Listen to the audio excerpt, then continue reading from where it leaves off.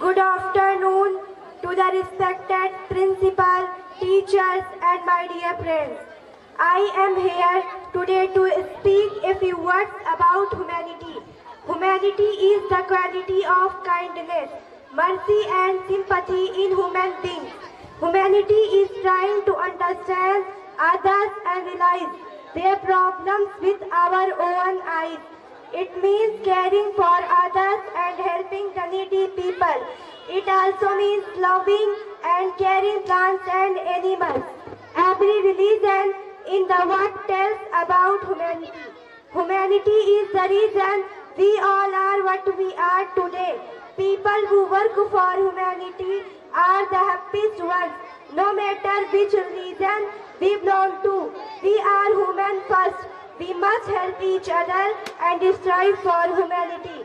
Helping the poor, disabled and old is one of the greatest humanitarian deeds a person can do. We don't need to be very rich to serve humanity. A small act of kindness in trouble will be great help. We can give food to someone who needs it. We can help a poor student in paying his fees or purchasing books.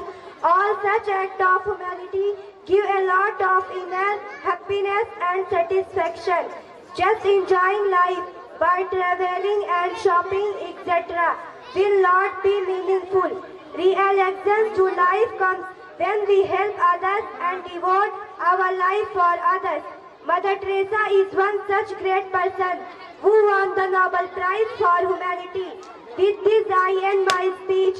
Thank you everyone for listening to me so patiently.